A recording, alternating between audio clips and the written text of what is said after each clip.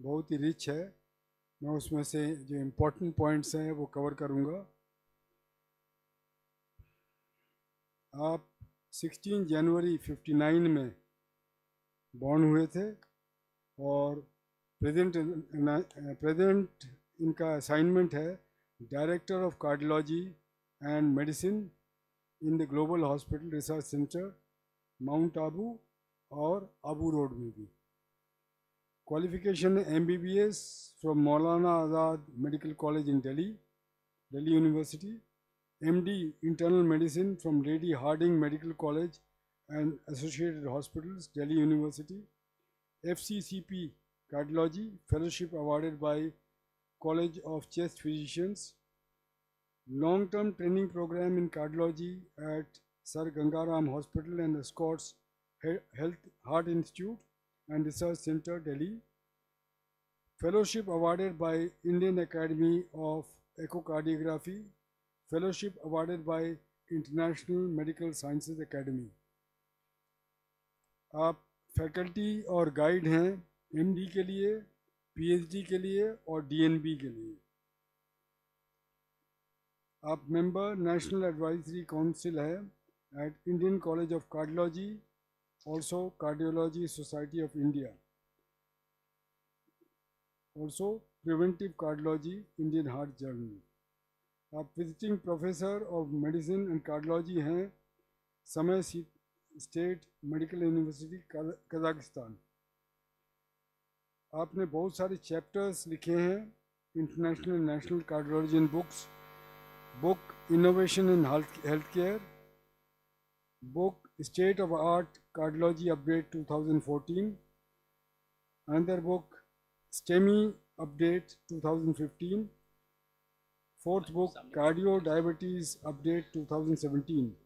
आपने चैप्टर्स लिखे हैं thirty health care the need of the hour chapter 19 another one stress and heart another chapter stress and STEMI and then stress and cardio diabetes आप बहुत सारे organisation के life member है। Life member of cardiology society of India Indian college of cardiology Indian academy of echo cardiography international medical science academy association physicians of India Indian medical association and medical wing of Raj yoga education and research foundation Brahma Kumari world spiritual university mount Abu आपको बहुत सारे awards मिले हैं। Padmashri award doctor D Y Patil governor of Tripura for excellence in cardiology on 14 September 2012 award of excellence 2011 in preventive cardiology in cardiac rehabilitation in the world by Shri Ghulam Nabi Azad honourable minister of health and family welfare in 2011 lifetime achievement award for Outstanding Contribution in Cardiology to the in the world by Srimati Sheila Dikshit, Honorable Chief Minister of Delhi on in 2010. Then President of All India, All Russia Social Movement for Healthy Russia awarded a social badge of honor president of India Shrimati Pratibha Patil ने award किया for excellence cardiology in 2008 at Rashtrapati Bhavan international award for excelling in medicine for the twenty first century award by United Nations Organisation UNO and I E W P international award for medical excellence and gold medal from I S C New Delhi आप नॉमिने आपका nomination है for Rashtriya Ratna 2003 and national jewel ISC New Delhi उनके बहुत सारे research projects हैं जिनमें से एक मैं कवर करूँगा जिसका मेंशन गिरीश भाई और आ, स्वामी भाई दोनों ने किया था। Research study and title regression of coronary art athero atherosclerosis through healthy lifestyle in coronary artery, artery disease patients, Mount Abu.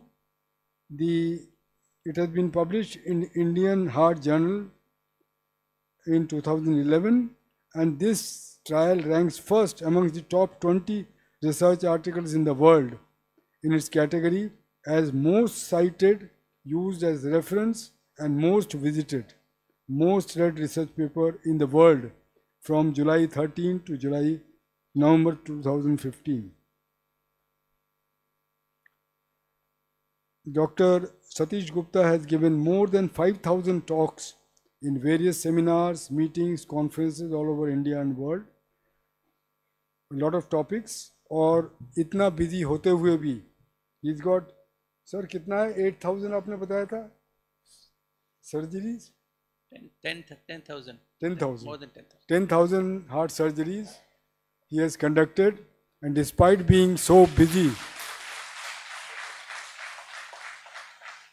despite being so busy in one of the gatherings like this there were three doctors from the navy who called on him and spent more than an hour discussing medical aspects with those three doctors. So he is ready to share his knowledge with people and we are glad that today he gives us some tips for healthy life. Over to dr satish gupta. Om Shanti. Can all of you please come near जो पीछे बैठे हैं, वो आगे आ जाए तो अच्छा रहेगा। So will have a heart to heart talk ना? सभी आगे आ जाओ आगे जाओ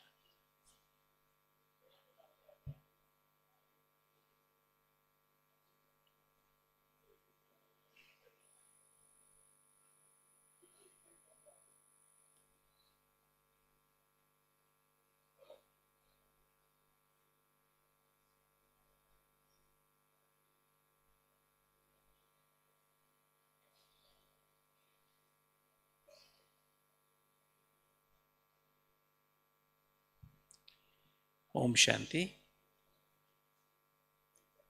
We'll start with the one minute of silence or meditation.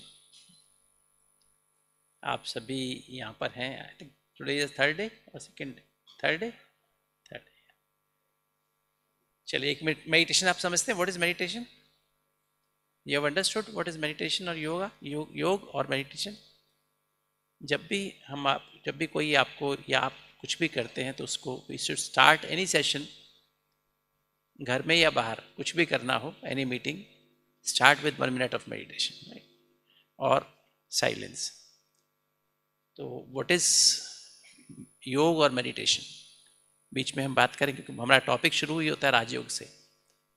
तो व्हाट इज़ राजयोग और व्हाट इज़ मेडिटेशन योग means connection and connection with what anyone wrong connection with the truth सत्य से जुड़ना ही मेडिटेशन है। सत्य से जुड़ना ही योग है। योग माना जोड़ है ना? कनेक्शन सत्य से जुड़ना ही योग है। एंड व्हाट इज़ ट्रूथ सत्य क्या है? सत्य की परिभाषा क्या है? Anyone truth is eternal beyond birth and death सत्य सदा है, शाश्वत है, जन्म और मरण से परे है। सत्य का कभी जन्म नहीं होता, सत्य का कभी मरण नहीं होता। दूसरी बात, सत्य के सत्य अनचेंजेबल है, अपरिवर्तनशील है। तो आपका सत्य क्या है? Yes what is your truth yes see we हम बचपन से जब से पैदा होते हैं जैसे अपना होश संभालते हैं, हम अपने आप को क्या देखते हैं? शरीर के रूप में देखते हैं बॉडी के रूप में देखते हैं। और अपने माता पिता को किस रूप में देखते हैं? उनको भी बॉडी के रूप में देखते हैं। किसी को भी देखते हैं बॉडी के रूप में देखते हैं। पर बॉडी इज़ बॉडी ट्रूथ शरीर सत्य है? क्या समझते हैं? शरीर सत्य है? माँ के पेट में, गर्भ में, पाँचवें महीने में आत्मा प्रवेश करती है और माँ को पता लगता है बच्चा अंदर घूम रहा है। अगर वो घूमना बंद करते दो, कहते बच्चे की डेथ हो गई। और एक दिन आत्मा शरीर को छोड़ के चली जाती है तो क्या बोलते हैं? The soul has left the body then we take care of the body right body को या तो जला देते हैं या दबा देते हैं। इजंट इट तो कुछ ना कुछ करना होता है। We don't keep the body in the house तो आत्मा आई तो जीवन शुरू हुआ, आत्मा निकल गई तो जीवन खत्म हो गया। तो बॉडी तो हम नहीं है। क्या हम रोल हैं? मैं डॉक्टर हूँ इंजीनियर हूँ, या मैं माँ हूँ, पिता हूँ, पति हूँ, पत्नी हूँ, ऐसा है क्या? ये भी है क्या? क्योंकि हम अपने आप को किस रूप में देखते हैं? किसी को भी हम किस रूप में देखते हैं? कोई ना कोई रोल्स के रूप में देखते हैं। क्या रोल ट्रुथ है? यस तो हम कौन हैं? इस सत्य से जुड़ना ही योग है। चलते फिरते, उठते बैठते, खाते पीते, श्वासों श्वास, जैसे हम अपने आप को जानते हैं, मैं कौन हूँ राइट मैं सतीश गुप्ता हूँ। तो is it right is it truth ये तो माँ बाप ने नाम रखा है। इसको मैं बदल भी सकता हूँ। मैं डॉक्टर हूँ इज़ इट ट्रुथ सत्य है ये। सत्य नहीं है, रोल है। जो दिन में कितनी बार बदलता है? डॉक्टर, हम 24 घंटे डॉक्टर होते हैं क्या? मैं 23 साल की उम्र में डॉक्टर बना, उससे पहले डॉक्टर नहीं था। और क्या उसके बाद मैं सदा डॉक्टर हूँ? हॉस्पिटल में डॉक्टर हूँ, घर में तो डॉक्टर नहीं। माँ के सामने डॉक्टर नहीं हूँ, पत्नी के सामने डॉक्टर नहीं हूँ, बेटे के सामने डॉक्टर नहीं हूँ राइट वहाँ रोल बदल गया है तो वो भी ट्रुथ नहीं है। और हम सारा दिन इसी रोल्स में रहते हैं रोल को इसी कारण से स्ट्रेस पैदा होती है। इट तो चलते फिरते, उठते बैठते इस सत्य से जुड़े रहना, मैं, ओम ओम शब्द का अर्थ क्या है? ओम शब्द दो शब्द से बना है। अहम प्लस मम। अहम आत्मा, मम शरीरम। तो योग क्या है? मैं कौन हूँ? I am a being I am a soul यही मेडिटेशन क्योंकि मेडिटेशन वर्ड मेडिटेशन जो शब्द है ना, वो वो मेडरी से भी आया है. मेडरी मीन्स टू हील तो ये जो कनेक्शन अगर हम अपने सत्य से जुड़ जाते हैं तो we start healing our cells और मेडिटेशन शब्द जो है, वो फोकस से आया है कंसंट्रेशन अगर हम अपने सत्य पे फोकस कर लें, इसी पे टिक जाएँ चलते फिरते उठते बैठते इसी में टिके रहें तो क्या होगा? हमारी हीलिंग होती रहेगी। हमारा मन और शरीर जो बीमार हो गया है, वो हील होता रहेगा। यस तो जब हम इस सत्य से जुड़ जाते हैं तो एक सुप्रीम बींग है। मैं ह्यूमन बींग हूँ, एक सुप्रीम बींग है, परमात्मा। तो वो परमात्मा पावर हाउस है। जैसे हम मोबाइल को चार्ज करते हैं ना बैटरी डिस्चार्ज होती क्या करते हैं हम? मोबाइल को पावर हाउस से कनेक्ट करते हैं बैटरी चार्ज होने लगती है। तो आत्मा के पास भी कुछ करंट है, कुछ एनर्जी है सात एनर्जी है आत्मा के पास। और जब तक वो सात एनर्जी है तो आत्मा इन सात एनर्जी से बॉडी को नरिश करती रहती है। जिससे हमारे शरीर के आठों अंग काम करते रहते हैं। और जैसे ही आत्मा की सात एनर्जी कम होने लगती है तो जो सी एनर्जी कम होती है, उस अंग में बीमारी शुरू हो जाती है। हार्ट है तो हार्ट को क्या चाहिए? क्या चाहिए हार्ट को? एनीवन? लव, है ना? लंग्स को क्या चाहिए? शांति पीस ब्रेन को क्या चाहिए? ज्ञान, सत्य की समझ understanding of the truth right तो आँखों को क्या चाहिए? कॉमन सेंस प्योरिटी लिवर को क्या चाहिए? पेट को क्या चाहिए? खुशी, कहते हैं ना, खुशी जैसे खुराक नहीं नहीं? हार्मोन्स को चाहिए हार्मोन्स को क्या चाहिए? थायराइड को क्या चाहिए? पेनक्रियास को क्या चाहिए? आनंद ब्लिस तो जैसे हमारी वो एनर्जी कम होने लगती है, उस संग में बीमारी पैदा होना शुरू हो जाए अब बैठ हमारी वो एनर्जी कम हुई तो कहाँ से चार्ज करेंगे? Power house is God supreme तो जब हम अपने सत्य में से सत्य में टिकते हैं तो उससे हम जुड़ सकते हैं पावर हाउस से। राइट तो अपनी बैटरी को चार्ज कर सकते हैं। चलिए हम, चले एक मिनट मेडिटेशन करें। इस देखिए, हमारा जो मन और बुद्धि है ना, आत्मा के पास तीन सूक्ष्म शक्तियाँ, मन, बुद्धि और संस्कार। हमारा मन, बुद्धि कहाँ फैला हुआ है? अपनी देह में फैला हुआ है, देह के संबंधों में फैला हुआ है, और देह के पदार्थों में फैला हुआ है। जो भी हमारी प्रॉपर्टीज़ हैं, जो भी हमारी चीज़ें हैं पर्सनल चीज़ें हैं, उनमें फैला हुआ है। और कहाँ कहाँ फैला हुआ है? दुनिया में क्या हो रहा है, उसमें फैला हुआ है राइट चलिए तो योग का मतलब ही क्या है? इस देह और देह की दुनिया से मन, बुद्धि को समेट अपने सत्य में टिक करके उस परम सत्य से कंबाइंड हो जाना। उस परम सत्य से जुड़ जाना इसको योग कहते हैं। राइट चलिए एक मिनट के लिए हम चलते हैं उसमें उस स्थिति में। लाल ला, ला लाइट की ज़रूरत नहीं व्हाइट लाइट ही रखो। चलिए। जुड़ जाइए अपने सत्य से। I am a being I am a shining star twinkle twinkle little star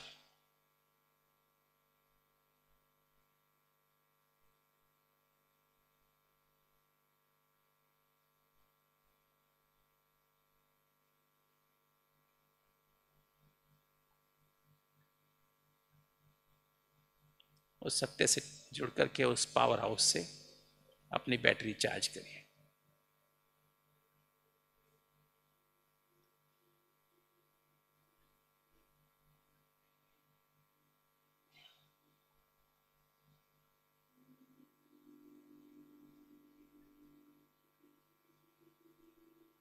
ओम शांति। स्ट्रेस फ्री हो गए आप?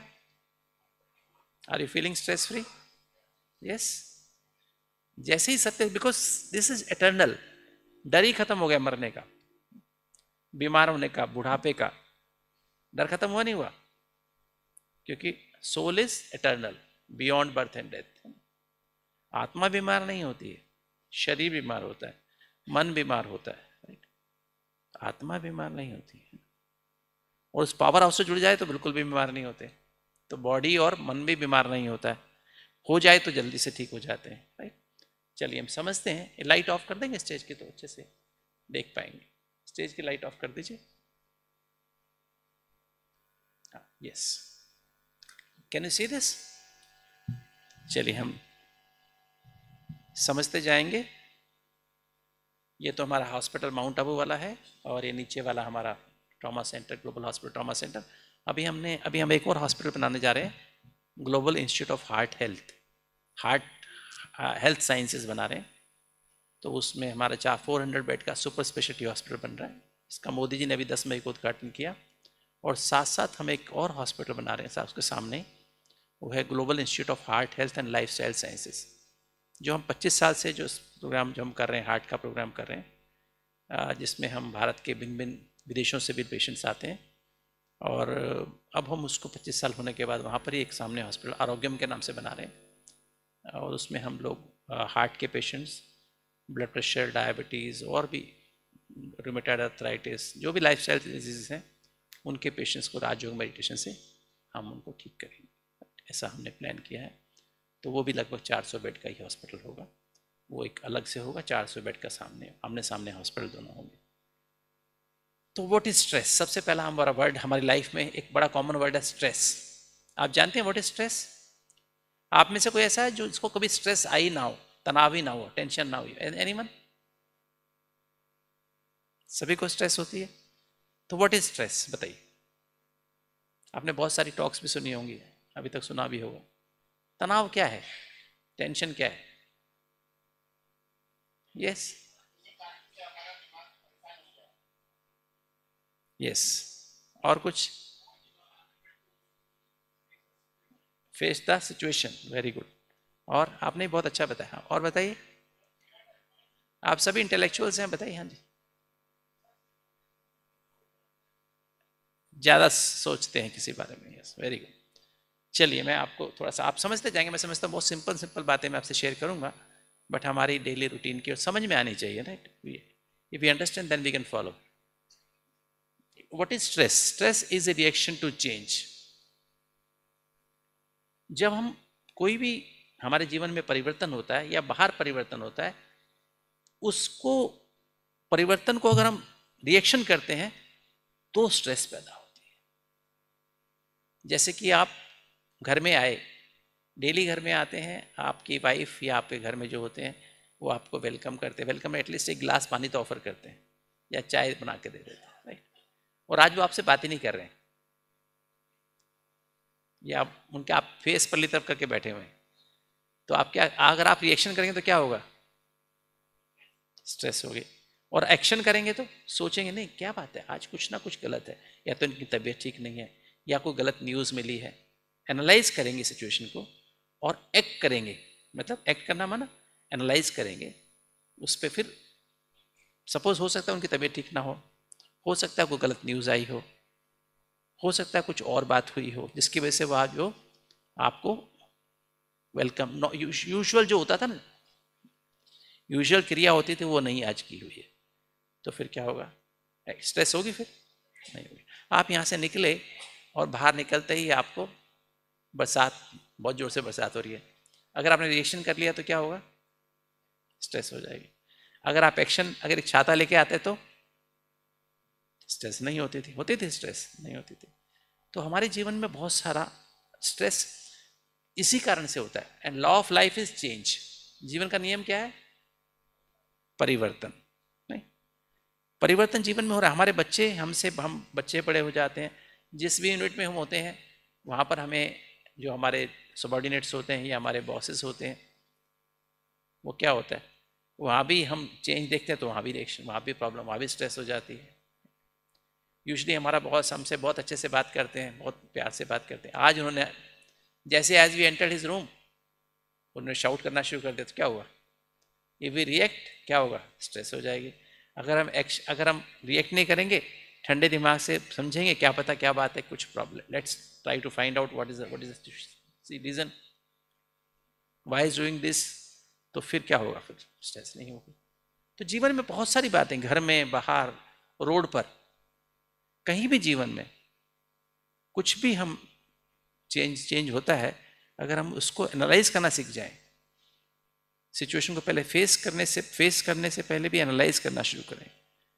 सिचुएशन आई एनालाइज करें और फिर एक्ट करें not react reaction is the main cause of stress चलिए तो law of life is change and so today law of life is stress हम सभी रिएक्शन करते हैं, इसलिए क्या है? हम सभी स्ट्रेस में रहते हैं। Everyone in this universe everyone in this universe is in stress हर आदमी स्ट्रेस में है। और ये फॉर्मूला है स्ट्रेस का। Stress is two pressures divided by coping ability और inner strength when this ratio exceeds 1 then you feel आपके जीवन में प्रेशर्स तो हैं। इंटरनल प्रेशर्स अंदर के प्रेशर हो सकते हैं। अंदर के प्रेशर क्या होते हैं? मन के प्रेशर्स हो सकते हैं, आप बहुत सेंसिटिव नेचर से हो सकते हैं, आप बहुत टाइप टाइप ए बिहेवियर माना pressure of time pressure of work pressure of perfection nature होती है अपने लोग कुछ लोगों की ना, बचपन से नेचर होती है। हर चीज़ में नंबर वन बनने की कोशिश करनी।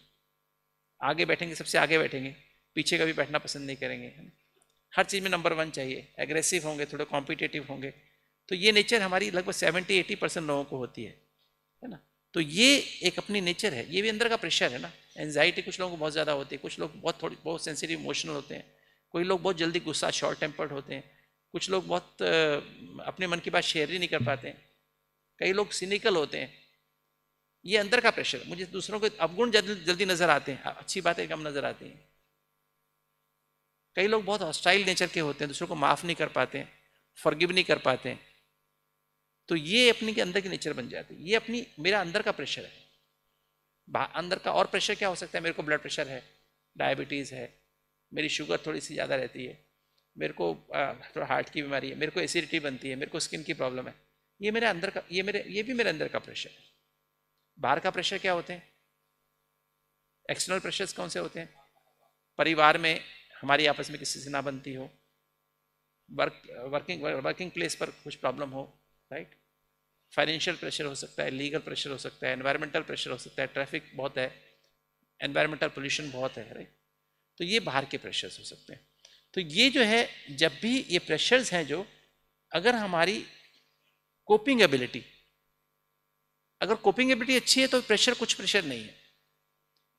या इसको इनर स्ट्रेंथ भी कहते हैं। अगर रेशियो एक से अधिक है, अगर प्रेशर्स एक्सीड कर जाते हैं आपकी इनर स्ट्रेंथ से तो आप स्ट्रेस महसूस करते हैं। तो क्या कहेंगे? एक होती यू स्ट्रेस जिसे चैलेंज भी कहते हैं। उसमें क्या होता है? When the inner strength is more than pressure pressures of life जैसे आपको बॉर्डर पे जाना होता है, आपको सिचुएशंस आपके सामने बहुत सारी, आपको घर से दूर रहना पड़ता है राइट तो प्रेशर्स है नहीं है बट आपको सिखाया जाता है ट्रेनिंग दी जाती है how to face the pressure how to you increase your inner strength अंदर फिजिकली भी आप स्ट्रेंथ बढ़ाते हैं और एंड्योरेंस साइकोलॉजिकल एंड्योरेंस भी बढ़ाते हैं इमोशनल एंड्योरेंस भी बढ़ाते हैं आपकी।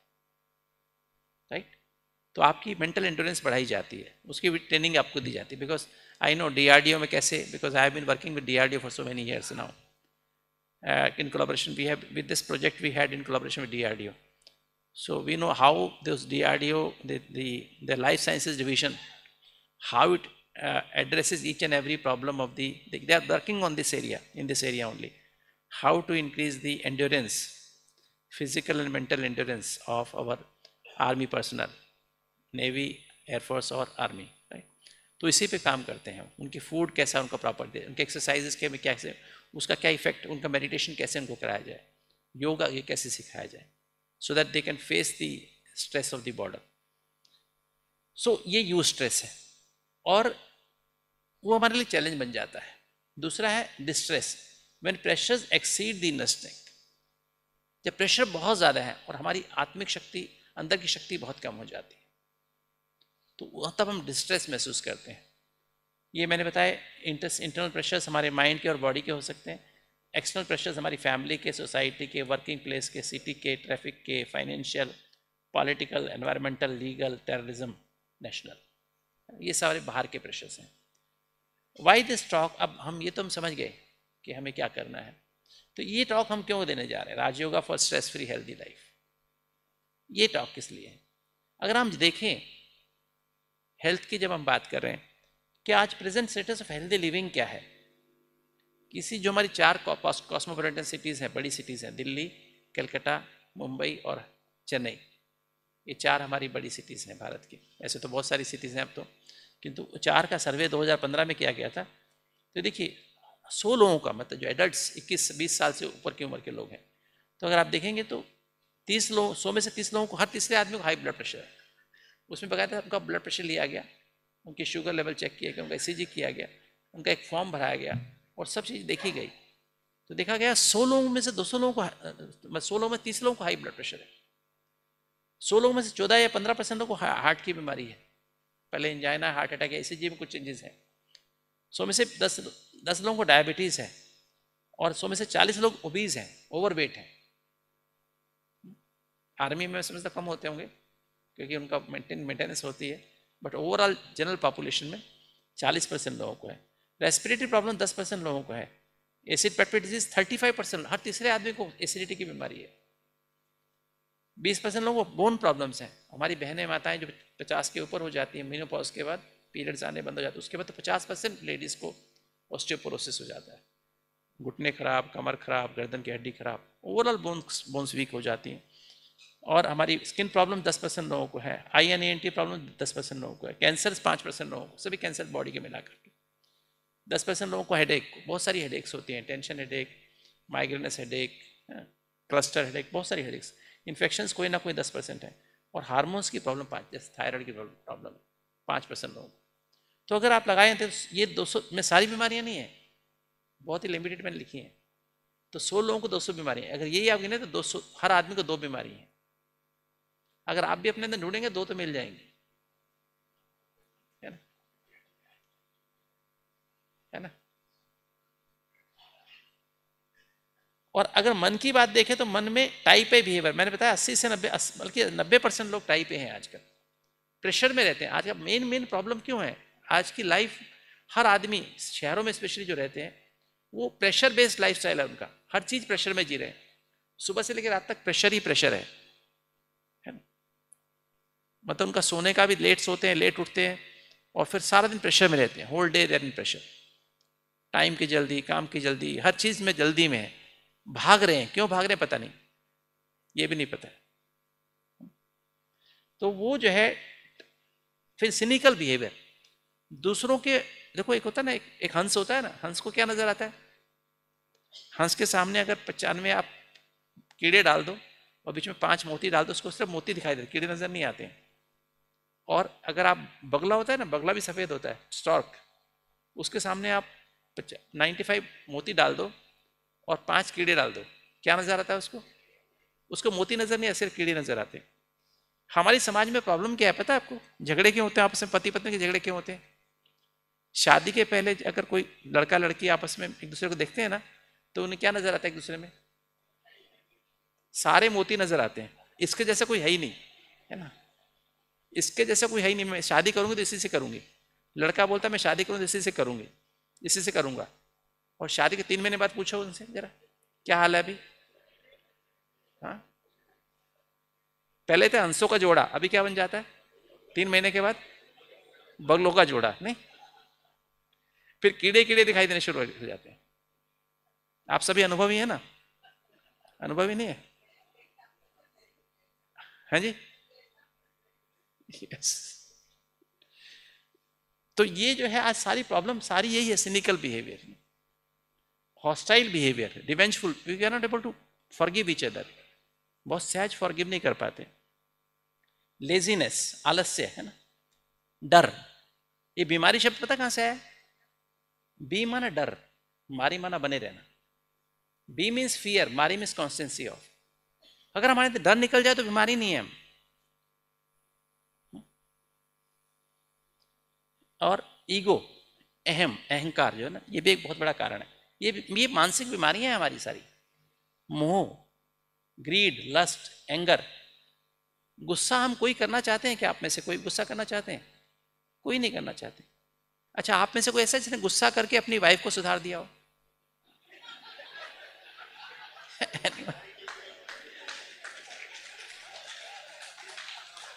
या आप में से कोई ऐसा है जिसने अपने हस्बैंड को सुधार दिया गुस्सा करके? है कोई ऐसा?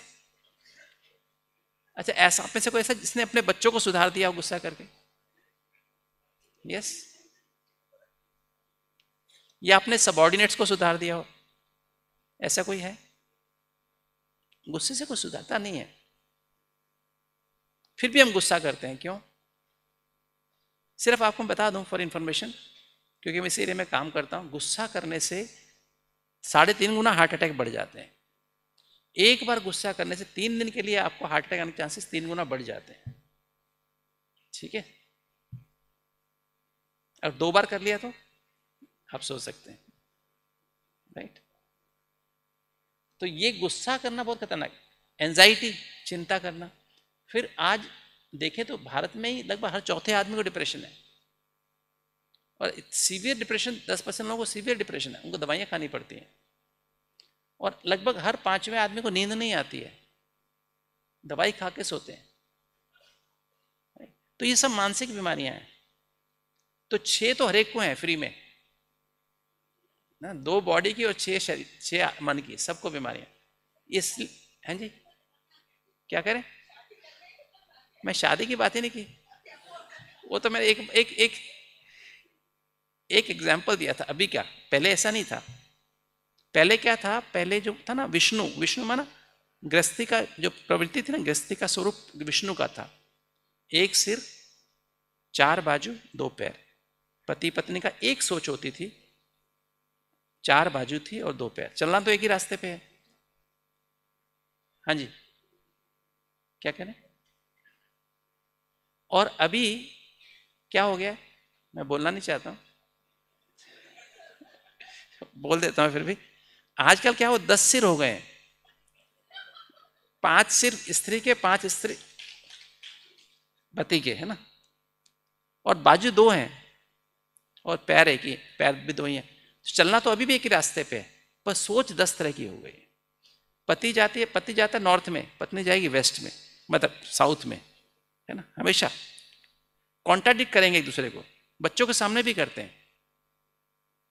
कभी साथ में को यूजली मैंने देखा है, हमारे माता पिता का मैं देखता हूँ, आज से हम जब छोटे थे तो कभी उन्होंने आपस में झगड़ा नहीं देखा हमने माता पिता को। आजकल क्या होता है आप जानते हैं। बोलने की बात नहीं है। तो मतलब एक जैसी सोच नहीं है। हर चीज़ में अलग है उनका बिहेवियर तो ये जो है, आज ये मानसिक प्रॉब्लम ये हमारी हो गई। चलिए, वो भी हम समझ जाएँगे, क्यों ऐसा होता है, उसका भी हम कारण समझेंगे, ठीक है? टाइम मिला तो। सामाजिक हेल्थ तो आप जानते हैं क्या? हर जंग कंपटीशन कट थ्रोट कंपटीशन कहते हैं ना? ईर्षा द्वेष बहुत ज़्यादा है, बाकी तो आप, मुझे नाम लेने की बात भी नहीं है। और स्पिरिचुअल हेल्थ कैसी है? आइडेंटिटी क्राइसिस घर घर में झगड़ा है। पति कहता है, मैं बड़ा। पत्नी कहती है, मैं ज़्यादा समझदार हूँ। पति कहता है, मैं समझदार बच्चे समझते हैं माँ बाप कुछ आता ही नहीं है, हम ज़्यादा समझदार हैं। एम्प्लॉयज़ कहते हैं हमारा एम्प्लॉयर बेकार है। है ना? एम्प्लॉयर कहते हैं, ये हमारे एम्प्लॉयज़ सारे बेकार हैं। मतलब वो एकदम आइडेंटिटी क्राइसिस सब एक दूसरे को समझते हैं, हम ज़्यादा समझदार हैं। गवर्नमेंट कहती है, हम ज़्यादा समझदार हैं। हम पब्लिक को चला रहे हैं। पब्लिक कहती है गवर्नमेंट बेकार है। है ना? हम हम गवर्नमेंट को चला रहे हैं। तो मतलब हर जगह ये आइडेंटिटी क्राइसिस कम्युनल राइट्स हो रहे हैं और आतंकवाद है ऑल ओवर द वर्ल्ड आतंकवाद आतंकवाद का सोल्यूशन क्या है? Commandos commandos is not the solution we kill but so many are again the coming up ultimate solution नहीं है. अल्टीमेट सोल्यूशन है स्पिरिचुअल एजुकेशन अगर हम स्कूल में बच्चों को एजुकेट करना शुरू करें we are beings we are souls और एक बाप के बच्चे, हिंदू हो, मुसलमान हो, सिख, ईसाई हो, सभी तो हम बींग्स हैं ना. ये धर्म तो बाद में पैदा होने के बाद होता है. नहीं नहीं, वो गलत, वो स्पिरिचुअल नहीं है, वो रिलीजन वो रिलीजन से आता है, हिंदू, मुस्लिम तो मैंने बताया ना, वो तो हिंदू, मुस्लिम, सिख, ईसाई तो बनता कब है? पैदा होने के बाद। जब बच्चे, हमने तो मैंने मैंने तो लेबर रूम में ड्यूटी की हुई है। मेरी छः महीने तो मेरी उसमें ही थी मतलब गाइनी ऑप्स मैंने हाउस जॉब किया था। तो मैंने देखा, बच्चे जब पैदा होते ना, हमारे, हमारा इतना बड़ा, हमारी छः टेबल्स थी। छः क्या, उसमें तो बाद में तो बारह ही टेबल एक साथ बारह बारह बच्चे भी पैदा हो जाते थे। अब नर्स तो तीन होती थी, तीन चार नर्स होती थी, दो डॉक्टर होते थे, है ना? अब नाइट ड्यूटी में कई बार इतने सारे चार पाँच बच्चे एक साथ, एक एक ही टाइम पे बच्चे पैदा हो रहे हैं। कौन सा बच्चा किस घर में गया पता ही नहीं लगता है।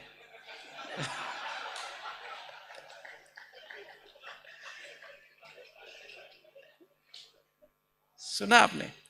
अब आप कहते हो हमारा हिंदू मुस्लिम सिख ईसाई कहाँ गया उसमें, मुझे बताओ। है ना?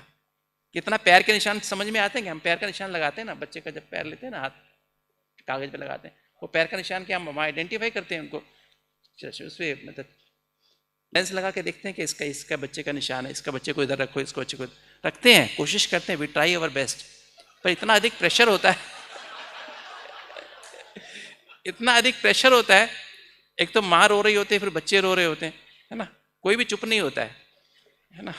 तो ऐसी गलती, ऐसी गलतियाँ हो जाती हैं। हमेशा नहीं होती, पर कभी कभी हो जाती हाँ। घर में अगर बच्चा पैदा होता है इट इज़ श्योर आपका ही बच्चा है।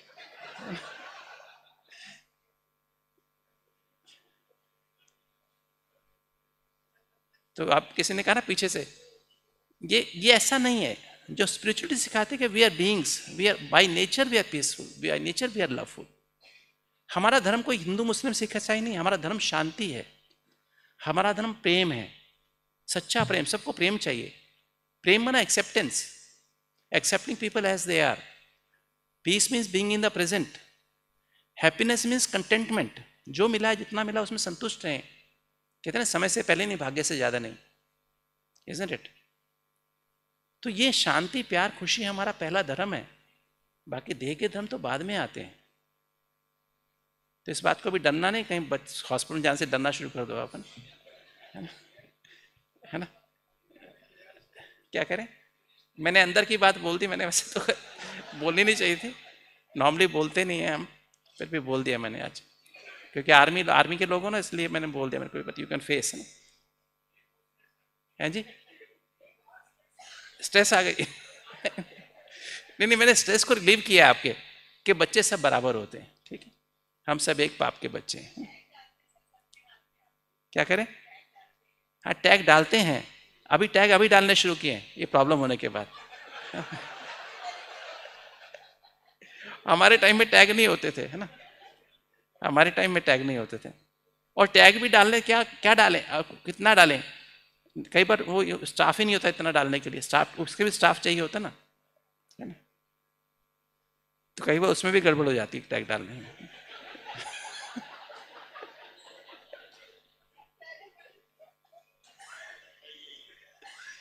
चलिए। आप थोड़े स्ट्रेस फ्री तो हो गए नहीं हुए अभी तक? स्ट्रेस फ्री हुए नहीं हुए? नहीं नहीं नहीं ऐसा नहीं। जस्ट बी एट ईज है ना? तो चलिए, आगे चलते हैं ना? तो समझ गए? तो अब हैप्पीनेस क्या है? अब इसके बाद आती है हैप्पीनेस हंसने को हैप्पीनेस नहीं कहते हैं बहुत सारे लाफ्टर क्लब्स बने हैं। देखो पार्क में हंस रहे होते हैं आते आते लड़ना शुरू कर देते हैं, बाहर आते आते सुना, देखा आपने कभी? हंसना, आपने रामायण देखा? रामायण सीरियल देखा? हंसता कौन रहा और मुस्कुराता कौन रहा? तो हंसना कोई हैप्पीनेस नहीं है। हैप्पीनेस क्या है? एक इंटरनेशनली एक्सेप्टेड डेफिनेशन क्या है? Happiness is an inner state of being and it comes from inner satisfaction contentment अंदर की बात है। जब आप अंदर से संतुष्ट होते हैं तो आप खुश होते हैं। उसको हम खुशी कहते हैं। Right is any one happy in this world क्या आज कोई खुश है? Yes hmm? कोई खुश है? हमारे देश का रिचेस्ट पर्सन खुश है? देश का पावर मोस्ट पावरफुल पॉलिटिशियन खुश है? क्या वर्ल्ड का मोस्ट पावरफुल पॉलिटिशियन खुश है? यस कोई खुश है।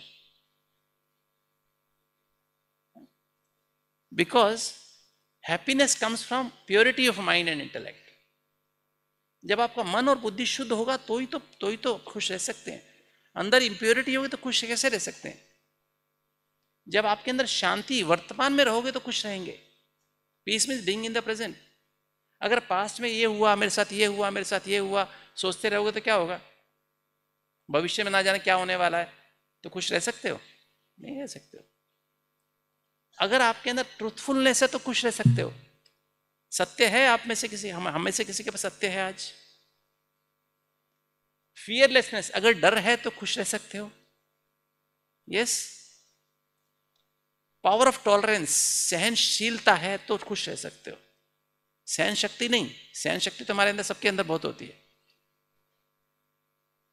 सहनशीलता, सहन करके भी ठंडे रहना, सहन करके समा लेना। आज का इंसान गुब्बारे की तरह से है। फूक भरते जाओ, फूक भरते जाओ, गुब्बारा फूल के बड़ा हो जाता है। सक्सेस मिल रही है, सक्सेस मिल रही है, आदमी फूल के कुप्पा होता जा रहा है। किंतु तो एक आदमी निडल लेके आए, निडल से प्रिक कर दे तो क्या हो जाता है? इतना सा हो जाता है तो आदमी को सक्सेस मिलती है तो आदमी बहुत खुश रहता है। किंतु तो जैसे ही कुछ प्रॉब्लम्स आती हैं क्रिटिसिज्म मिलता है और आदमी खुशी खत्म। तो सदा खुश रहने के लिए क्या आवश्यकता है? पावर ऑफ़ टॉलरेंस सहनशीलता आवश्यक है। फिर इजी नेचर सरल स्वभाव। अगर आपका सरल स्वभाव तो आप खुश रह सकते हो। अगर आपका स्वभाव सरल नहीं है तो आप खुश नहीं रह सकते रह सकते आप यहाँ पर आए, आपको कमरा मिला, आपको आप उम्मीद थी कि मेरे को एक कमरा मिलेगा, एक बेड वाला कमरा होगा, बस आराम से मैं रहूँगा ना? रहूँगा या रहूँगी है ना? और आपको मिला चार चार लोग को रहना एक साथ। क्या होगा? सारी खुशी गायब ब्रह्मा कुमारी में आने की खुशी गायब। नहीं? क्योंकि सरल स्वभाव है तो कहाँ भी रहेंगे? छह लोग भी रहेंगे। मुझे याद है जब मैं पहली बार आया माउंट आबू में 86 में तो हम लोग छह लोग साथ में थे एक कमरे में। एक बाथरूम था, छह लोग थे। चार बजे उठ के मेडिटेशन करने जाना होता था। पर सरल स्वभाव चाहिए ना। तब हम कुछ कुछ भी मिले, जैसा भी मिले। एडजस्ट करते ना घर में? पहले ये, पहले हमारे टाइम में, हमें पता है हमारे घर में हम बारह बारह मेंबर्स होते थे और दो कमरे होते थे। आज कितने कमरे चाहिए बारह लोगों को? रहने के लिए।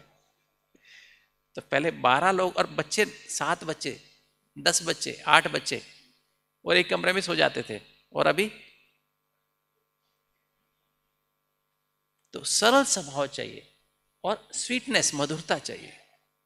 मधुरता खाली बोलने की नहीं, देखने की भी मधुरता होती है, सुनने की भी मधुरता होती है, व्यवहार की मधुरता चाहिए। तो ऐसा मिठास चाहिए, तब आप खुश रह सकते हैं।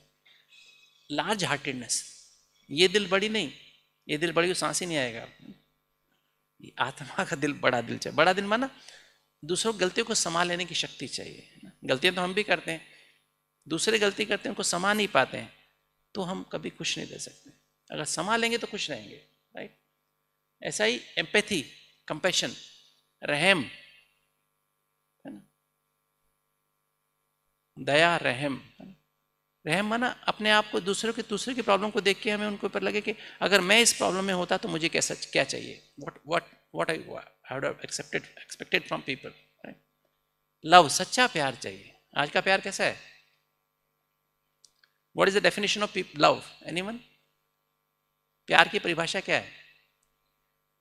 हुँ? क्या करें? देखो, मैं परमात्मा के प्यार की परिभाषा सुना देता हूँ आपको। Unconditional dignified respectful acceptance and care for each and every human being on the planet इसलिए इसको प्यार का सागर कहते हैं। हर आत्मा को, हर मनुष्य को, कैसा भी है, आतंकवादी भी है उसको भी हवा, पानी सब कुछ देता है, अकल भी दे रहा है।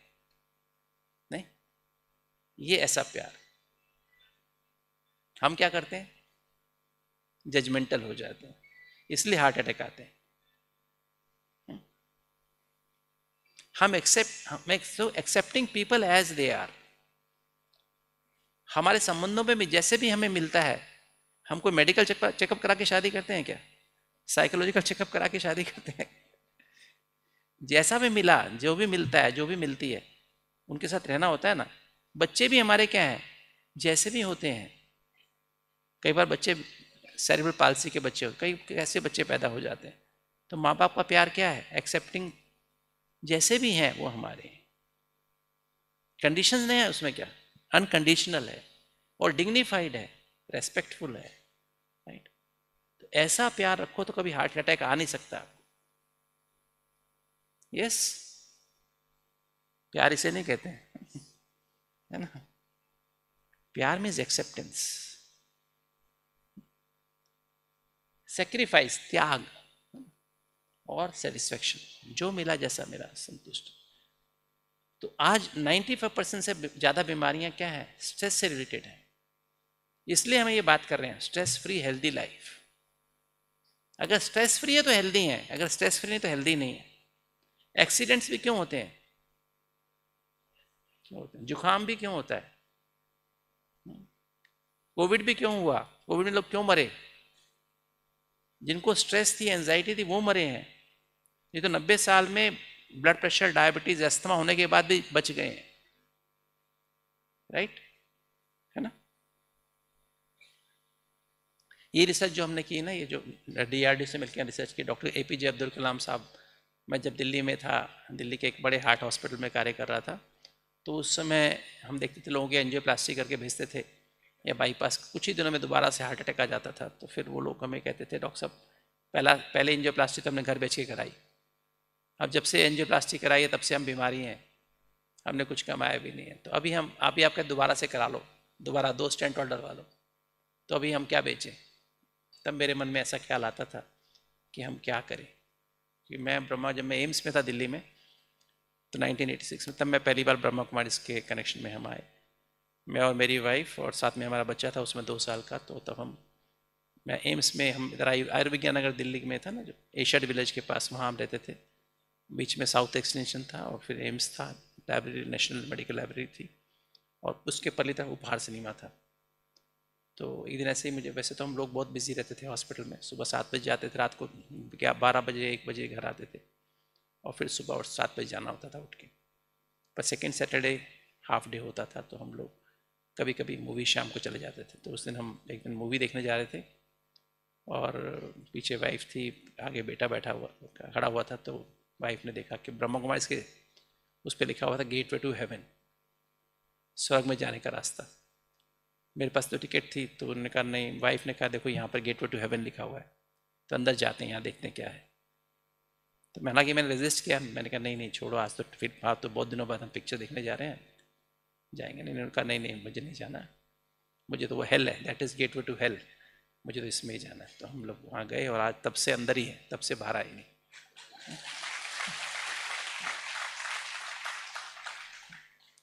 नाइनटीन एटी सिक्स का दिन था वो, शायद चौबीस या पच्चीस अगस्त था वो। तो उस दिन में हम अंदर गए।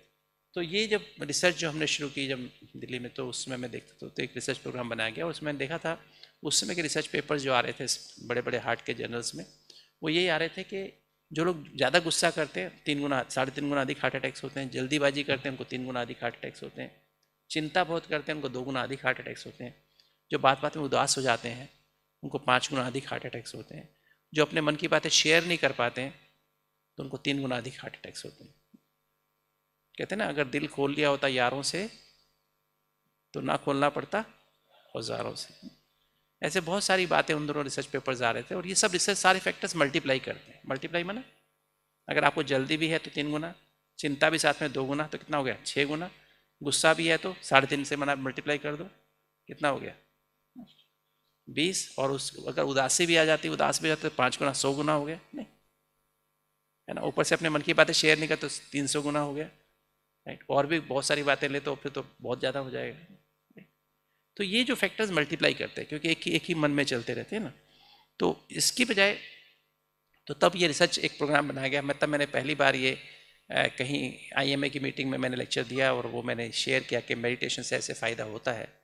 We can we can change our behaviour जल्दी चिंता गुस्सा ख़त्म कर सकते हैं क्योंकि मैंने खुद अपने अंदर देखा था मैं परिवर्तन किया था। तो वो जो है तब मैंने शेयर किया और उसमें डी के साइंटिस्ट थे बैठे सुन रहे थे उसमें मीटिंग में। डॉक्टर कलाम से उसने शेयर किया। मैं छः मार्च 95 को मैंने टॉक दी थी आई की मीटिंग में और नाइन्थ मार्च को आ, मतलब मुझे अगले दिन ही मैसेज मिल गया। डॉक्टर कलाम साहब ने कहा डॉक्टर गुप्ता को मुझे मिलना है। तो मैं डॉक्टर कलाम साहब से मिलने गया। तो डॉक्टर कलाम ने कहा डॉक्टर गुप्ता ये तो बहुत अच्छी बात है सारी बात मुझसे शेयर हुई। अगर आप रिसर्च करो तो मैं आपके साथ हूँ, मेरा पूरा डीआरडीओ आपके साथ है। तो हमने रिसर्च प्रोग्राम बनाया और गवर्नमेंट ऑफ़ इंडिया को मिनिस्ट्री ऑफ़ हेल्थ को सबमिट किया और तीन tertiary cardiac centres Mumbai Delhi और अहमदाबाद के तीन सेंटर्स लिए और मिनिस्ट्री ऑफ़ हेल्थ ने स्पॉन्सर किया।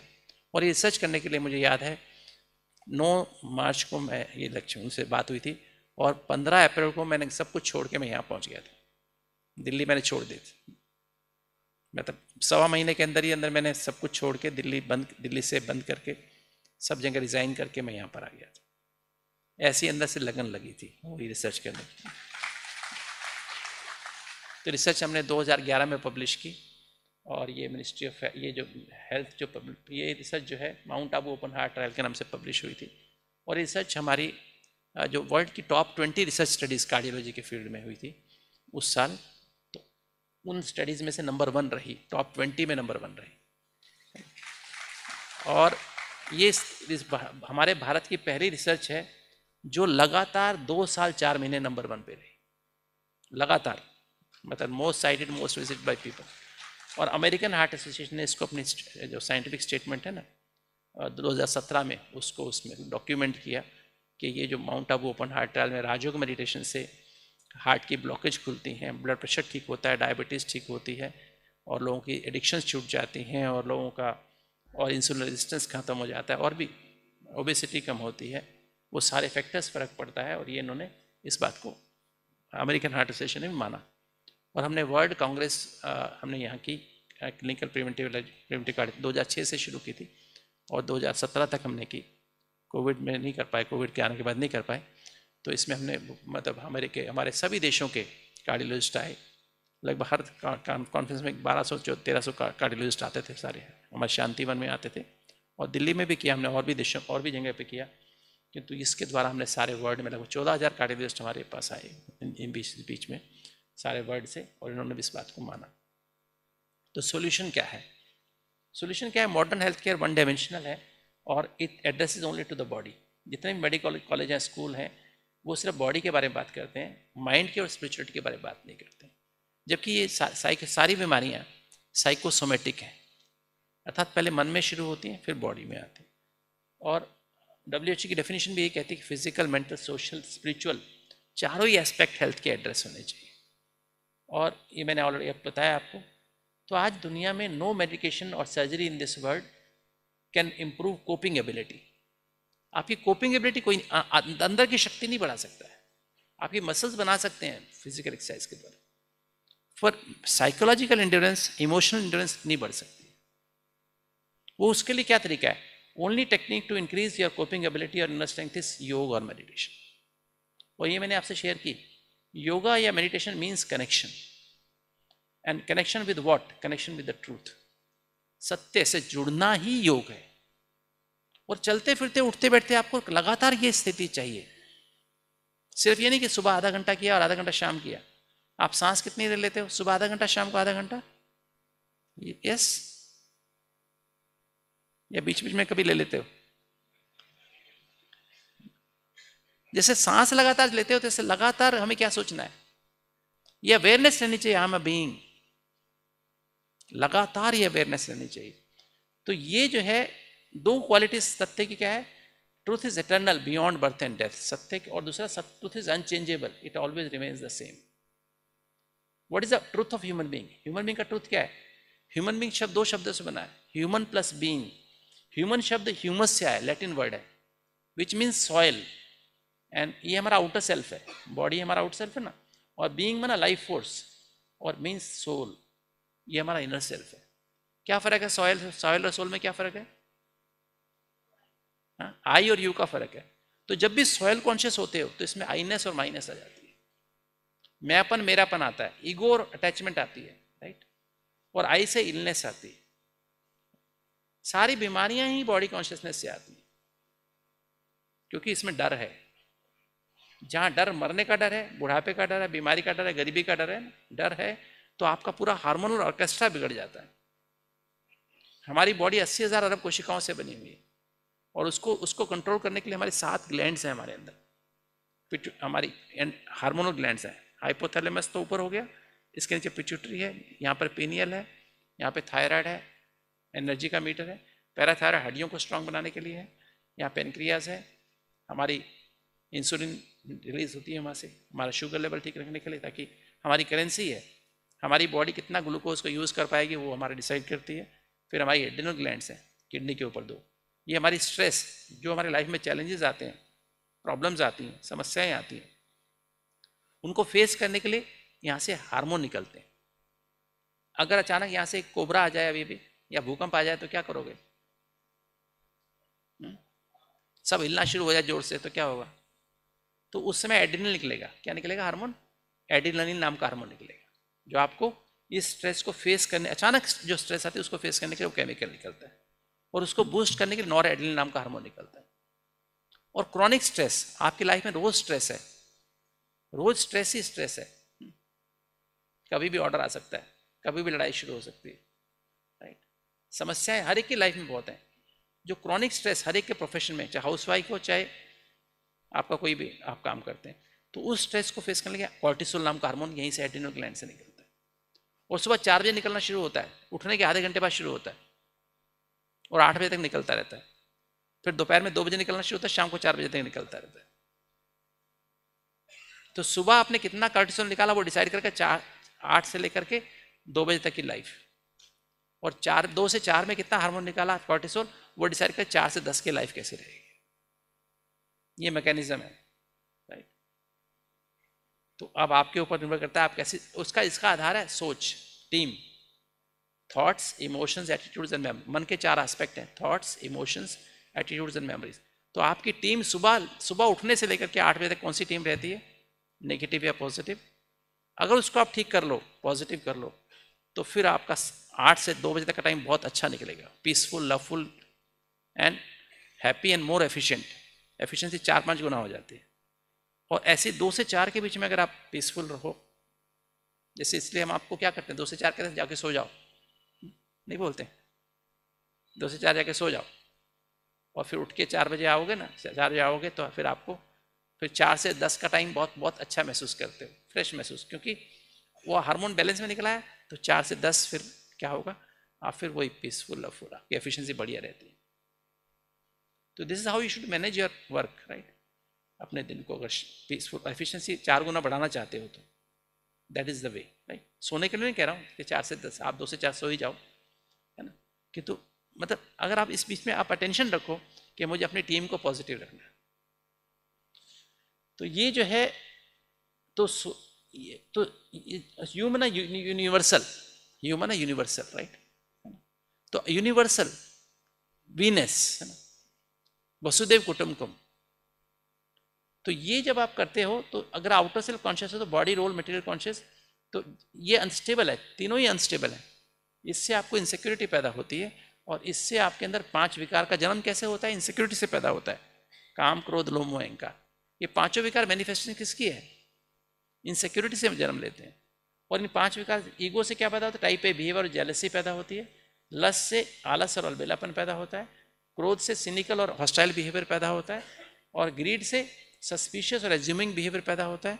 और अटैचमेंट से एंजाइटी और फियर पैदा होती है। और इसी को हम स्ट्रेस कहते हैं। एक्चुअली दिस इज़ स्ट्रेस यही स्ट्रेस है, यही तनाव है। ये पाँच विकार, उनके दस बच्चे, यही तनाव है। इसी को हम स्ट्रेस कहते हैं। और जब आपका मूड खराब स्ट्रेस में ना मूड खराब है। मूड खराब है तो फ़ूड खराब होता है। मूड डिसाइड्स योर फ़ूड अगर आप बिटरनेस महसूस करें तो कड़वाहट होती है तो क्या होता है? मीठा खाने को दिल करता है। भले डायबिटीज़ हो। भले शुगर चार सौ होगी, बाद में देखा जाएगा। है ना? चोरी छिपे भी आप मीठा खाते हो। बिटरनेस मन में आई और खाते मीठा हो। ड्राइनेस यहाँ आती है फ्राइड यहाँ खाते हो। बोरिंग यहाँ महसूस करते हो हॉट हॉट हॉट हॉट और स्पाइसी यहाँ से खाते हो। सौ से ज़्यादा मूड स्टडी हुए रॉन्ग मूड रॉन्ग फ़ूड और जब आपका मूड खराब होता है तो नींद अच्छी नहीं आती है। सोने जाते दस बजे, नींद आती है एक बजे। राइट और एक बजे सोएगा कितने बजे उठेगा? आठ बजे, सात बजे। और वो आदमी जब आप, इससे पहले स्लीप मैनेजमेंट की बात कर रहे थे ना आप तो क्या सिस्टम है? उसका आपने थोड़ा समझा होगा कि नींद अगर खराब आएगी उठोगे आठ बजे तो क्या, नौ बजे तो आपको ऑफ़िस जाना है। तो फिर क्या करोगे? फिर एक्सरसाइज करोगे? नहीं कर पाओगे राइट और एक्सरसाइज फिर शाम को करोगे रॉन्ग एक्सरसाइज करोगे। एयर कंडीशन कमरे जिम में जाओगे जहाँ हवा हवा तो है नहीं। मश, दस लोग जिम पे एक्सरसाइज कर रहे हैं ट्रेडमिल पे। क्या निकाल रहे हैं? ऑक्सीजन निकाल रहे हैं? कार्बन डाइऑक्साइड निकाल रहे हैं? और एसी क्या कर रहा है? कार्बन डाइऑक्साइड ठंडा करके दे रहा है। तो आपको क्या चाहिए? ऑक्सीजन चाहिए कार्बन डाइऑक्साइड चाहिए? इसलिए जिम में एक्सरसाइज हार्ट अटैक्स आते हैं राइट ये कारण हार्ट अटैक्स आने का। तो ये देखिए आप, ये इसलिए सब बीमारियाँ हैं। और ऐसा आदमी स्ट्रेस में रहता तो वही ज़्यादा चाय पिएगा कॉफ़ी पिएगा कोल्ड ड्रिंक पिएगा और ऐसा आदमी स्मोकिंग करेगा, शराब पिएगा। ड्रग्स खाए, नींद नहीं आएगी तो नींद की गोलियाँ खाएगा। तो यही है disease and this ease means loss of ease और अगर आप सोल कॉन्शियस रहते तो क्या है? स्टेबल फुल प्रूफ सिक्योरिटी आत्मा तो मरने वाली नहीं है। तो आत्मा के साथ ये अंदर की अंदर की एनर्जीज हैं ये। जैसे गर्म पानी की झील के पास गर्म पानी की भट्टी के पास जाओ तो क्या होता है? आग अपने आप गर्मी लगती है, मांगनी पड़ती है।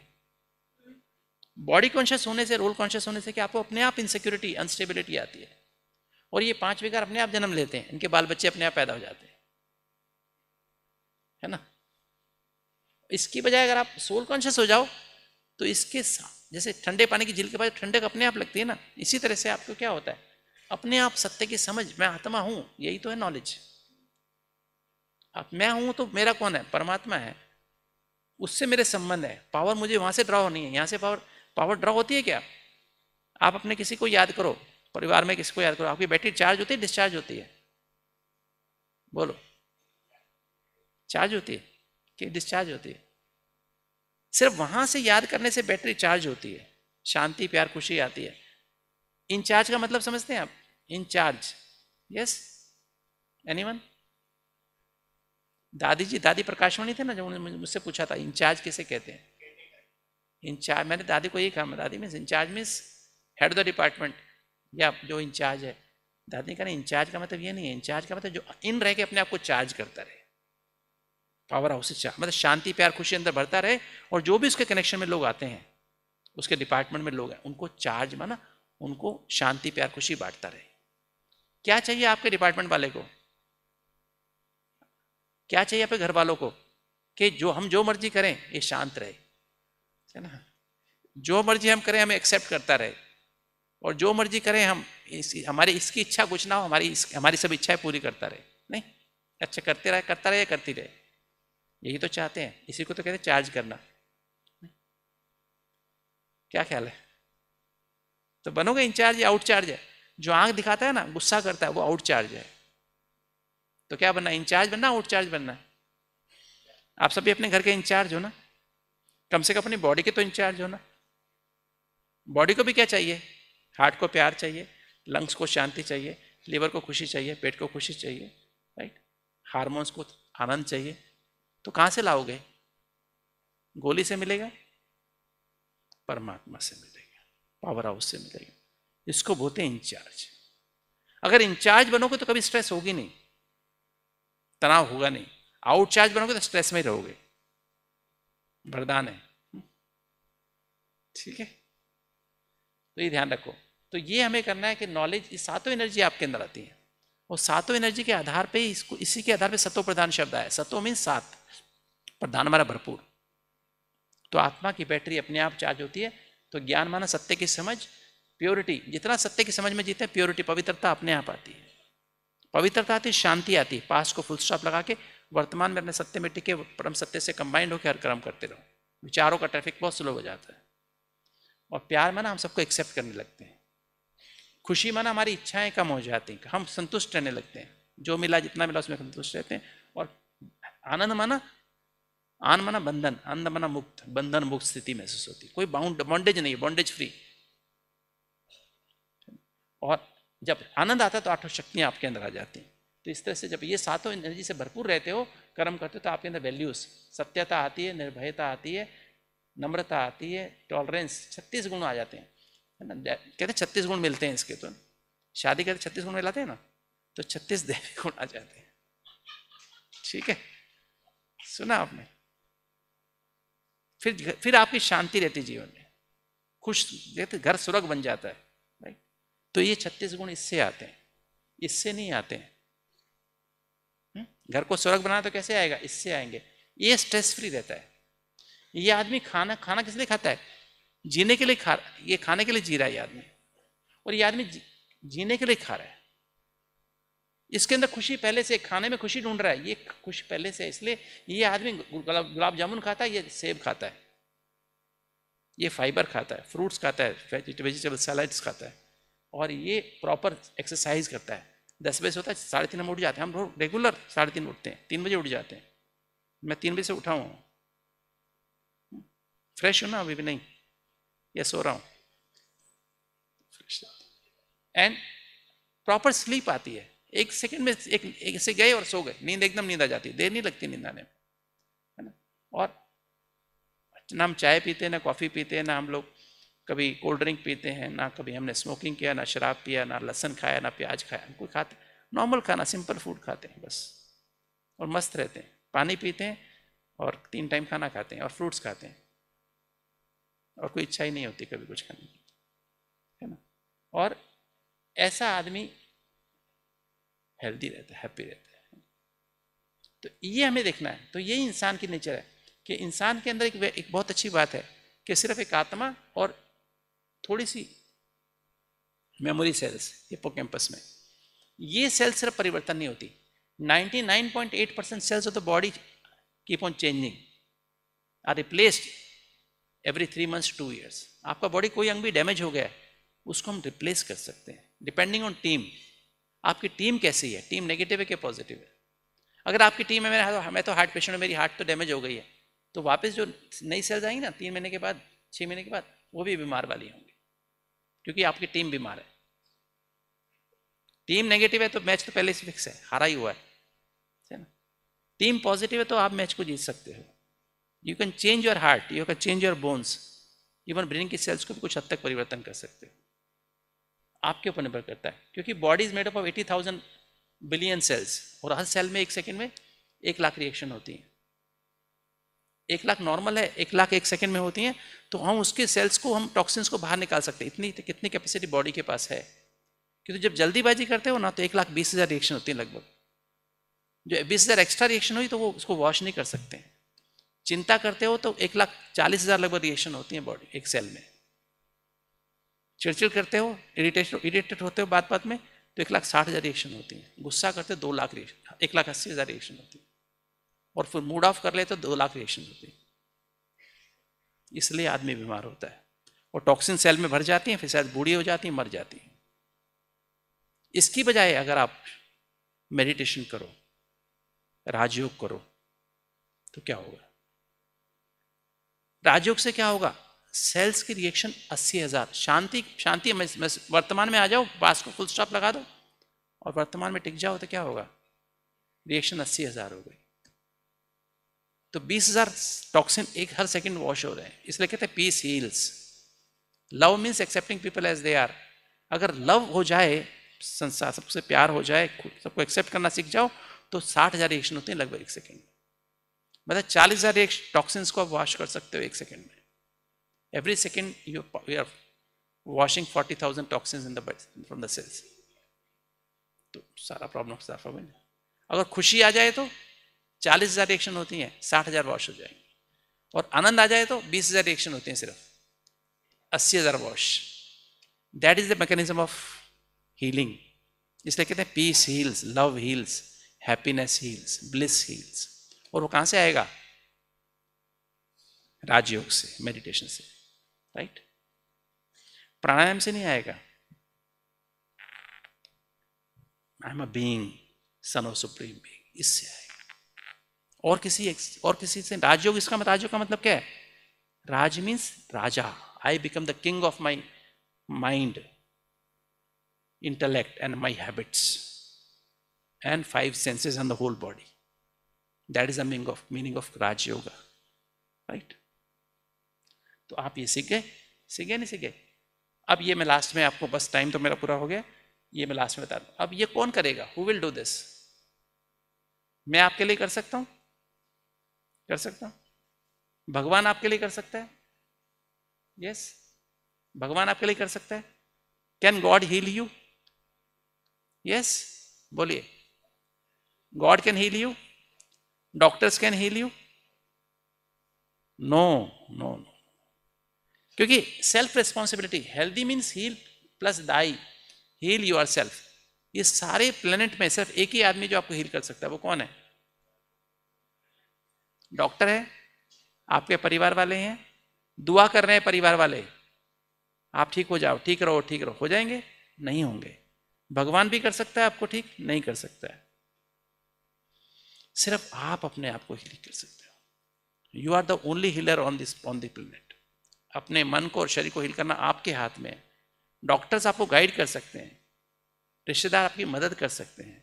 भगवान आपको, भगवान और इंसान में क्या फ़र्क है? भगवान, इंसान, अगर इंसान अगर इंसान की मदद आपने की होगी तो इंसान आपकी एक एक गुना मदद करेगा। है ना?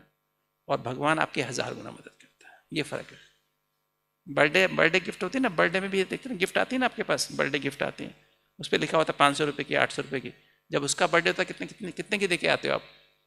लगभग उतने के देके आते हो, इतना लिखा होता है ना? पाँच सौ वाले को पाँच हज़ार की नहीं देके आते हो वो भगवान कर सकता है राइट है ना? वो चप्पड़ फाड़ के देता है। बाकी लोग नहीं देते, है ना? राइट तो आपको ये देखना, मेरा स्वास्थ्य किसके हाथ में है? मेरे हाथ मेरे हाथ। सेल्फ और फिर सेल्फ अवेयरनेस हेल्दी मीन्स स्वस्थ स्व मीन्स इनर सेल्फ अस्था मीन्स कॉन्शियस तो हेल्दी मीन्स स्व मैंने आत्मा अस्थमना स्थित आत्मिक स्थिति में स्थित है तो आप स्वस्थ हैं इसलिए अपने बचपन में राइम नर्सरी राइम सुना होगा twinkle twinkle little star how I wonder एक सितारा है जो है, चमक रहा है। जब तक वो टिमटिमा रहा है, जब तक वो है, सब कुछ चल रहा है। जैसे वो निकल जाता है, दिखाई भी नहीं देता है, सब कुछ खत्म हो जाता है। इसलिए कविता चार हज़ार चार सौ छिहत्तर साल पर लिखी गई थी कविता। Four seventy six years back by French person twinkle twinkle little star how I wonder what you are और परमात्मा की अगली दो लाइन क्या है? Up above the world so high like a diamond फिर भूल गया वो।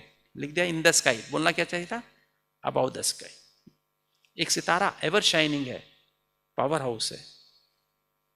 जो हम सब आत्माओं का क्या है? पावर हाउस है। तो ये सेल्फ अवेयरनेस तो ये है फिर मल्टी डायमेंशनल अप्रोच तो आपको क्या करना है? To heal thyself one need self empowerment and empowerment comes from true knowledge and true knowledge comes from God because God is truth सत्यम शिवम सुंदरम तो पहली इन्फॉर्मेशन जो आप यहाँ पर आए हो ना तीन दिन के लिए, ये क्या है आपका? इन्फॉर्मेशन है। आपको सूचना दी जा रही है सिर्फ़। फिर क्या करना है? आपको एजुकेशन डेली डेली बेसिस पर रोज जाके मुरली सुनो। परमात्मा के महावाक्य। मुरली जो हंड्रेड परसेंट पॉजिटिव टीम है वो आपको फिर ठीक करेगी। जैसे होता ना, आपने कंप्यूटर लिया, मोबाइल लिया, मोबाइल लेके डेली लेवल पे अपडेट कैसे होता है इंटरनेट से? तो अपडेट, अपडेशन आपकी डेली नॉलेज की मुरली से होगी। रोज मुरली सुनो, सात से आठ।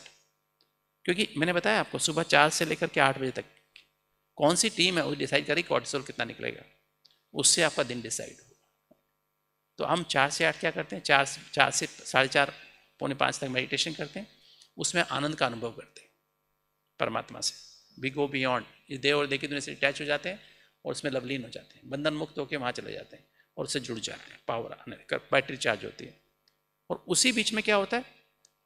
आधे घंटे के उठने के आधे घंटे में टीम हमारे विचार चलने शुरू हो जाते हैं। आज हमको ये करना, आज हमको ये करना। तो हम क्या करते हैं? हमारी आनंद आनंद किसी ट्रिगर होता है? क्या? पॉजिटिव टीम ट्रिगर हो जाती है। अच्छे विचार पॉजिटिव विचार outlook positive we can face everything right तो पॉजिटिव टीम इमर्ज होती है. Positive thoughts emotions attitudes memories होती हैं. मुरली क्या हंड्रेड फिर मुरली को हम स्टडी करते हैं. सात से आठ मुरली सुनते हैं. वही टाइम सबसे ज़्यादा कॉर्टिसोल निकल रहा होता है. तो this is new lifestyle is being taught to you being taught to us human beings कि जिससे आप सदा के लिए हेल्दी और हैप्पी बन जाए. एक स्ट्रेस फ्री हेल्दी लाइफ आप सीख जाए. दैट इज़ द वे तो ये आप कर रहे हैं। तो एज पर बायोलॉजिकल ये हमारे अंदर घड़ी है, एक अंदर घड़ी है, यहाँ हाइपोथैलेमस में। उसमें सोने का समय दस बजे, उठने का समय साढ़े तीन बजे, तीन चार बजे। ब्रह्म मुहूर्त में उठ के आधा घंटा मेडिटेशन करो और वो फिर आप मेडिटेशन करेंगे और उसके बाद आपका क्लियर वॉइंस होती है। क्लियर वॉइंस माना immediately after meditation clear voice माना क्लियर विजन आपकी जो मीटिंग आज दिन में क्या क्या काम करना है? आपको एक मिनट में टच होता है, ये करना। आप चार घंटा मीटिंग करके डिसाइड नहीं कर सकते हो। कि तो आपको एकदम विजन होती है। ऐसे करना है। दिस इज़ द सोल्यूशन जितनी मुझे को विजन मिली हैं, चाहे हार्ट के प्रोग्राम में बारे में या डायबिटीज़ के बारे में ब्लड प्रेशर जो भी बीमारियाँ, जो भी प्रॉब्लम्स वो सारी इस समय मिली। राइट तो वो विजन आपको अर्ली मॉर्निंग मिलती है। तो ये आप करें और बॉडी के लिए क्या भोजन के सैर, नींद, आपने समझा होगा। तो ये हम करते हैं। ये मैं छोड़ देता हूँ, ये भी छोड़ रहा हूँ। ट्रुथ ट्रुथ से आपकी टीम पॉजिटिव बनती है। जितना आपने सत्य में टिकोगे टीम अपने आप पॉजिटिव बन जितना आपने नेगेटिव फॉल्सहुड में जाओगे, आपकी टीम नेगेटिव हो जाएगी। नेगेटिव टीम पॉजिटिव टीम और ये जो है, ये छोड़ देते ये भी, देखिए, ये चैलेंज ये हमने रिसर्च जो की थी ना, लोगों का एज वो किया था हार्ट रेट जब लोग हमारे पास आते हैं, उनके लाल तार, ये stress stress response fight and flight response ज़्यादा होती है रिलैक्सेशन रिस्पॉन्स लो होती है। सात दिन में ही इनकी क्या रिलैक्सेशन रिस्पॉन्स बढ़ जाती है, और fight and flight and fight response कम हो जाती है। और एक साल के बाद तो पूरी बैलेंस हो जाता है। What is life life is facing the challenges with relax state of mind challenge तो लाइफ में आएँगे, हमेशा आते रहेंगे, जब तक जियोगे आते रहेंगे। बट हम क्या करते हैं कि राजो क्या सिखाता है हमको? कुछ भी चैलेंज आए, उसको रिलैक्स स्टेट ऑफ़ माइंड क्यों आपके बॉसेस हमारे जो बॉसेस होते, जो आपके बॉसेस हैं, या कहीं भी बॉसेस होते हैं, या हमारे जैसे हमारा डिपार्टमेंट है कार्डियोलॉजी का डिपार्टमेंट है मेडिसिन का डिपार्टमेंट है हमारे जो डिपार्टमेंट्स हैं, जो बॉस होता है, वो एक्सपीरियंसड होता है। क्यों? वो हर चीज़ को रिलैक्स माइंड से सोचता है। इसलिए वो डिसीज़न मेकिंग अथॉरिटी होती है राइट हम उनको नहीं देते आर्मी मैन को वहाँ पर नहीं देते कि वो डिसीज़न लेवे किसके हाथ में है? जो एकदम रिलैक्स माइंड से सोचता है। कैसे मुझे ऑल थ्री डायमेंशनल वे से सोचता है मल्टी डायमेंशनल वे से सोचता है। ये चीज़ ऐसे करनी है, इस समय करनी है। तो वहाँ से ऑर्डर आता है फायर करने का भी नहीं तो ये हमें करना होता है लाइफ में। और ये देखिए हमने, ये हार्मोन्स को हमने स्टडी किया eight AM four P M samples कैसे चेंज होते हैं। ये हमने इंसुलिन को देखा कि इंसुलिन कैसे रेजिस्टेंस खत्म हो जाता है डायबिटीज़ प्रॉब्लम खत्म हो जाएगी। ये देखिए, आत्मा के सात गुण, सात एनर्जी कैसे आत्मा टीम से, मन मन पॉजिटिव है तो ही तो ही एनर्जी बॉडी में जाएगी। टीम अगर नेगेटिव है तो बॉडी में कितना मर्ज़ी योग कर लो। आपके कुछ नेगेटिव बिलीफ सिस्टम्स हैं नेगेटिव एटीट्यूड है नेगेटिव मेमोरीज हैं, भरी हुई हैं, उनको निकाला नहीं। कितना मर्ज़ी मेडिटेशन करो, आपकी बीमारियाँ ठीक नहीं होने वाली हैं। किंतु अगर आप टीम पॉजिटिव बनाओ, इसलिए मुरली सुनना आवश्यक है। इसलिए चार बजे उठ के मेडिटेशन करो, फिर आठ चार से, सात चार, सात से आठ मुरली सुनो, और बॉडी के लिए proper diet proper exercise proper नींद प्रॉपर दवाइयाँ। तो आपकी एनर्जी क्या होगी? ये एनर्जी इस बॉडी के आसपास करती इसी को हम आभामंडल कहते हैं और कहते हैं। और ये जो है, फिर आप इसी को राजयोग मेडिटेशन और मैंने देखा साइकोलॉजिकल टाइप पे बिहेवियर खत्म हो जाता है एंजाइटी एंगर सब खत्म हो जाता है चेंज हो जाता है। ईजी आपका बदल जाता है। ईजी भी मतलब ये देखिए, हम बिन करते हैं ना EEG alpha rhythm beta rhythm होती है नॉर्मली सात दिन में देखो अल्फ़ा रिदम कितनी इसको पीसफुल वेव्स कहते हैं। ये बीटा रिदम कम हो गई थीटा रिदम माना लवफुल रिदम और डेल्टा माना हैप्पीनेस ब्लिसफुल रिदम सात दिन में बदल जाती है। आँखें खुले खुले हम ज़्यादा अच्छा कर सकते हैं। देखिए अल्फ़ा रिदम बढ़ती गई थीटा बीटा रिदम कम होती गई थीटा बढ़ती गई। डेल्टा एक हफ़्ते में बढ़ जाती एक हफ़्ता मेडिटेशन करेंगे ना, आप सीखोगे ना, एक हफ़्ते में आप आपकी दुनिया ही बदल जाएगी। ठीक है? चेहरा वही रहेगा, पर दुनिया बदल जाएगी। तो ये हमने एनजियोग्राफी भी की नाइन्टी थ्री परसेंट पेशेंट्स के ब्लॉक खुले, ये ब्लॉक देखिए खुल गया है। ये मेडिटेशन से ब्लॉक खुला है। ये देखिए, इतना लंबा ब्लॉक है, खुल गया सारा। ये देखिए हंड्रेड परसेंट ये इतना लंबा ब्लॉक खुल गया है। ये देखिए हंड्रेड परसेंट ब्लॉक भी खुले हैं। कैल्सिफाइड ब्लॉक्स खुले हैं। देख रहे हैं आप? ये। हैं जी? छः महीने में खुल जाए अभी तो पहले एक साल, पहले दो साल था, फिर एक साल, अभी तो छः महीने में खुल जाते हैं। वो तो किसी, कोई भी एज हो ना, किसी की भी। हाँ अभी हमने इसमें लिया था, बीस से लेकर अस्सी साल तक के लोग लिए थे। हैं जी? हाँ ये, नहीं अबाउट सिक्सटी थर्टी फाइव के भी आते हैं thirty five thirty five thirty six के भी लोग आते हैं। ट्वेंटी एट में भी हार्ट अटैक्स होते हैं। हाँ देखिए, मैं सब में देखिए मल्टीपल ब्लॉक खुल गए। ये देखिए, ये एट्टी और नाइन्टी परसेंट ब्लॉक खुल गया। इस पेशेंट को दो बार हार्ट अटैक आया था, देखिए हार्ट अटैक आया था, देखिए इसका हार्ट की pumping power normal sixty percent होती थर्टी परसेंट रह गई थी। अब हार्ट देखो रीजनरेट हो जाता है, वापस फोर्टी फाइव परसेंट हो गया ये देखिए इस तरह से एटी परसेंट ब्लॉक तक खुल गया। ये देखिए इसकी ट्वेंटी परसेंट रह गई थी हार्ट की पंपिंग पावर मैंने बताया कंटिन्यूस मेडिटेशन में connection throughout the day change of देखिए, ये फिफ्टी परसेंट हो गई। राइट देखिए हंड्रेड परसेंट ब्लॉक खुल गया। ये देखिए कंट्रोल ग्रुप में सारे बढ़ गए। हर ब्लॉक के पीछे थॉट पैटर्न्स हैं। अगर जब तक थॉट पैटर्न को आप चेंज नहीं करेंगे तो ब्लॉक खुलेंगे नहीं। एंजियोग्राफी देख के पता लगता है कि इसका, इसके मन में क्या क्या चलता है। संबंध कैसे हैं इसके घर में? पीछे से कैसे संबंध रहा है? अभी कैसा है? उसके उसके एंजियोग्राफी उससे उसका चेहरा नज़र आता है। अभी हम उसकी एंजियोग्राफी देख के बता सकते हैं। तो देखिए, ये ये ब्लॉक एक, देखिए, एक पेशेंट लास्ट एंजियोग्राम दिखाता हूँ। ये हंड्रेड परसेंट ब्लॉक है कैल्सिफाइड ब्लॉक है। और रिपीट करने पे देखिए पूरा खुल गया। देख रहे हैं? तो ये ऐसे, ये देखिए, ये ऐसे प्रोग्राम हम करते हैं।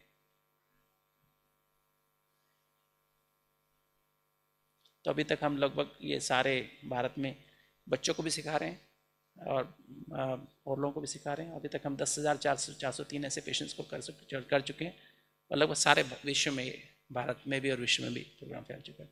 तो टेक होम मैसेज क्या है? स्पिरिचुअल केयर जो भी काम करो आप रोल कॉन्शियस होकर नहीं करो बॉडी कॉन्शियस सोल कॉन्शियस होकर करो। इसके लिए चार से चार पैंतालीस योग करो, बैठ के, है ना? आनंद की स्थिति का अनुभव करो। और आठ बजे तक टीम को पॉजिटिव रखो। इसलिए इसके लिए, ताकि आपका एडिनल सर्च कॉर्टिसोल सर्च ठीक हो जाएगा। और ईट नेचुरल फल सब्ज़ियाँ ज़्यादा सेवेंटी परसेंट आपका खाना, फल सब्ज़ियाँ, सलाद होना चाहिए, अंकुरित होना चाहिए।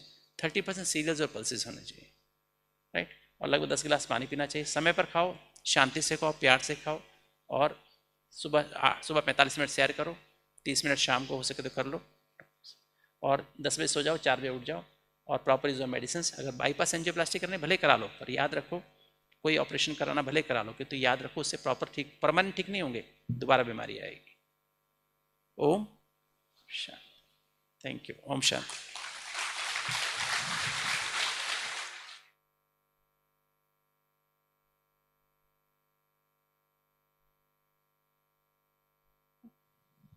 Have taken little less little more time but फिर भी आपने बहुत प्यार से सुना।